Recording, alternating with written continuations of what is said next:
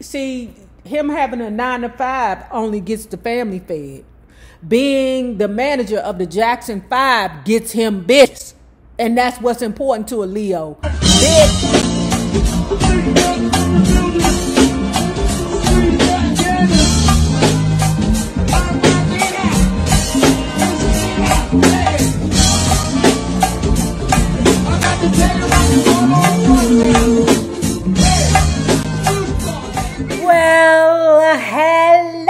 Bugs. Hello there, Bellas. If you have not already done so, please remember to like, share to Facebook, whatever your handle is, whether it be Twitter, Twitch, TikTok. Like I said, I don't know if you can share videos over there on TikTok. I don't know. Share it over there or tell a friend. That's another way you can do it. Tell a friend about it. Subscribe and check out uptopbeauty.com. You see this hat? You like it? Ooh. This is currently on sale at uptopbeauty.com. In fact, everything is on sale at uptopbeauty.com. And to sweeten the deal, if you are one of the first three to spend over $65, that will include the shipping fee, you will get a free We've Been Reading with Uptown Nay Rob tote. And if you are not already a part of this book club, please hit the Patreon link below and or the join button here on the YouTube. And for a small monthly fee of five, five dollars, you can be privy to all the shenanigans before the YouTube gets it, if the YouTube gets it. Now, let's continue talking about Michael Jackson by Ter- Taraborrelli. Ever since Michael Jackson was a teenager, the public has speculated about his personal life straight, gay, or even asexual. It is fascinating that the sexual proclivity of a performer with as much on-stage sexual appeal as Michael has always been such a mystery. Ah, uh, sexual appeal during the thriller, yes, because I was young and I didn't know what a man was. I told y'all, and I will forever tell y'all, it's that goddamn Jackie Jackson. Mm and that Jermaine Jackson. Now, who I would climb, what tree I would climb first would be that goddamn Jermaine. Then once I come down from the tree, you know, I might sashay my ass over there to the jacket. But, you know, if you think that Michael Jackson was sexy, okay, shouts to La Vista to you. At an early age, Michael received mixed signals about sex. The message from Catherine was loud and clear. With her strong faith as a Jehovah's Witness, lust in thought or in deed was considered sinful. However, from Joseph, who shunned the religion Catherine had embraced, the boys received a message that came more from his actions than from his words. In the group's early days, Joseph, the boys, into dives in strip clubs, ordinarily strict he apparently gave his son free rein at those times, allowing nine year old Michael to stand and watch as the male audience leered and whistled at voluptuous women who stripped until naked on stage. Once, Michael watched in fascination as a well endowed stripper took off everything but her underwear. Then, at just the right moment, she pulled two large oranges from her bra and took off a wig to reveal that she was actually a he. Exposing your child to adult like lust, even though some of us were still children when we uh, lost our virginity. I was. I was a teenager. But purposefully exposing your child to adult lustful actions is a crime. You allowing your children. Now, it's one thing if they snuck off and they did it on their own. But you, as a parent, allowing your children, your boys, your young boys, to see things like this at a young age is confusing. Child doesn't know what to do with those feelings. So if Michael was the one out of the six boys who was confused or um, hesitant about his sexuality, I get it because not every child can process those things appropriately. You know what I'm saying? Jermaine processed it. Jackie processed it. Oh, my Tito. Damn, my Tito. When y'all told me Tito was the cheater, ah, goddamn, what is this world coming to when the Tito Jackson cheated on you, girl? Damn. But Michael Jackson, I don't believe he processed it well. When the boys played the Peppermint Lounge in Chicago, there was a peephole in their dressing room through which they had a clear view into the ladies' bathroom. They would each take turns peering into it. We learned everything there was to know about ladies, Marlon recalled. Some years later, the group was performing in London when Michael, 13, and Marlon, 14, discovered a peephole that looked directly into an adjoining dressing room occupied by theater star Carol Chan. Well, well, hello. The first ha.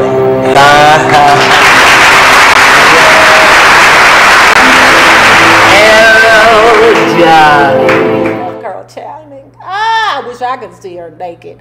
Not the old Carol Channing, but the young one. The young Carol Channing. I mean, because if I want to look at something old and wrinkly, I could just look in the damn mirror. I was telling my sister the other day, I said, Sister, I feel like my body is full of mayonnaise, like a sandwich. Look, she's naked, Marlon said excitedly as he peered through the hole. I can't look, Michael protested. But she's naked, Marlon enthused. Carol Channing is naked.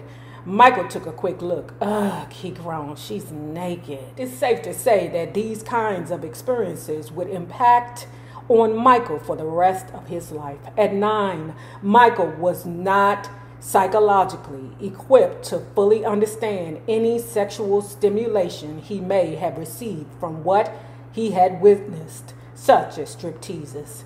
He must have been conflicted. He had an overly rigid view of the world from his mother and an overly promiscuous view of the world from his father. The father's infidelity would certainly have hit the younger child exposed to it the hardest. In this case, that would have been Michael, since he was the youngest member of the group, privy to Joseph's discretion. It would be years before his younger brother and sister, Randy and Janet, would know about their father's philandering. In 1968, Joseph would earn only $5,100 rather than his usual eight to 10000 He would give up relative financial security in order to gamble on his family's future. Yeah, see, see, him having a nine to five only gets the family fed being the manager of the Jackson Five gets him bitches. And that's what's important to a Leo bitches and attention. However, the gamble quickly paid off. The boys started making $600 per engagement. With the influx of money, Catherine and Joseph were able to redecorate their home and buy their first color television. Michael has recalled that as Joseph got older, he became more violent. It became a running theme in his young life. His father was a bully, and he would have to live with it. If you messed up during rehearsal, you got hit. Michael would remember. Sometimes with a belt or a switch. What we know from other books is that at least Joseph wasn't a sucker. He wasn't the kind of person that just beat on the weak, meaning just his children. Joseph, if you want that action, oh, he'll give it to you. At about this time, 1968, when Michael was almost 10, the Jacksons faced a family crisis. 18 year old Maureen Rebbie was falling in love with Nathaniel Brown, a devout Jehovah's Witness. She announced that she wanted to marry him and move to Kentucky. Catherine, happy for her daughter, encouraged her. In Catherine's view, there was no more important role for any of her daughters to play than that of being a wife and a mother. However, Joseph was against the marriage. It was all cooked up by Maureen and her mother. He would later explain. I wasn't happy about it because Maureen Rebbie, as she was known in the family, had a powerful singing voice. Her father had hoped she would consider a career in show business. He felt that if she married and raised a family, she would never be able to devote her attention to the entertainment field. We know that Rebbie can get busy because she did the Centipede album. We know she can get busy, but it seems what was more important to her was being a wife and a mother. Rebbie lived a regular life. Remember, her husband was a school bus driver. She preferred the comfort and security of a happy home life to the instability of show business. Also, of course, Rebbie wanted to get out of that house. There was always so much drama occurring within the walls of that small home on Jackson Street.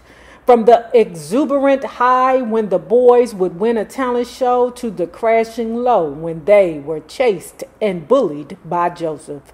Rebbie wanted out. Who could blame her? As it would happen, her defection from the ranks would be just the first of such crises in the family, as several of the children chose to marry at an early age against their father's wishes in order to get away from him from that house. You hear me? Get the fuck. Listen, as the older sister, what I would do, and I'm sure Rebbie did, set all the siblings down. Listen, you get the fuck away from this house as soon as you can. And don't you come back. You get away from all. The arguments went on for weeks until finally Joseph relented. Fine. Rebbie could get married. However, However, he would have the final word. He would not give her away. After winning another talent contest, this one at Beckman Junior High in Gary, the boys were brought to the attention of a man named Gordon Keith, who owned a small local label called Steeltown Records. Keith immediately signed the brothers to a limited record deal. Two singles were eventually released on Steeltown in 1968. Big Boy backed with You've Changed and We Don't Have to Be Over 21 to Fall in Love, backed with Jam Session. Both were mediocre numbers that don't really hint at Michael Jackson's potential as a vocalist but the boys were thrilled with them just the same. In May 1968, the group was invited back to the Apollo to perform and this time be paid for their appearance. They were on a bill with Etta James, Joseph Simon, and another family group, the Five Stairsteps and Cubie, a singer, was just two years old. I'm like, who is the other family group? Why are people being so damn evasive about this? Like, it's like you can't say the Sylvers' name. Because remember when we read Latoya's book, Latoya was like, I don't want to say the other family group, but the other family group was a bit ratchet. You know, they didn't know how to eat steak, so we had to have hot dogs and hamburgers because they didn't know how to use utensils. I'm like, what is that about? While Joseph was at the American Federation of Musicians Hall in New York filling out certain forms for the Apollo engagement, he met a young white lawyer by the name of Richard Arons. After talking to him for just a few moments, Joseph asked Arons to help him manage his sons. Remember how they talk about uh, Joseph not having real business acumen? Joseph relished the idea of having white assistants, a preference that would cause problems for him in years to come. Arons, as a co manager, began seeking concert bookings for the group while Joseph tried to interest the record industry in them. At one point, he tried to contact Berry Gordy, president of Motown, by sending him an audio tape of some of the Jacksons' songs. There was no reaction from Gordy or from anyone else at Motown. Do he not know that he didn't sign a contract with Steel Town In 1968, when the Jackson Five played the Regal Theater in Chicago, Motown recording artist Gladys Knight arranged for some of Motown's executives, but not Berry, to attend the show. There was some interest in the group at the time. Word got back to Berry that the Jacksons were an up and coming act, but still there was no interest for him in terms of signing them to the label. In July 1968, when Jackie was 17, Tito 14, Jermaine 13, Marlon 10, and Michael 9. The group performed at Chicago's High Chaparral Club as an opening act for a group called Bobby Taylor and the Vancouvers. After he saw the Jackson boys in action, Taylor telephoned Ralph Seltzer, head of Motown's creative department and also head of the company's legal division, to suggest that the group be allowed to audition for Motown.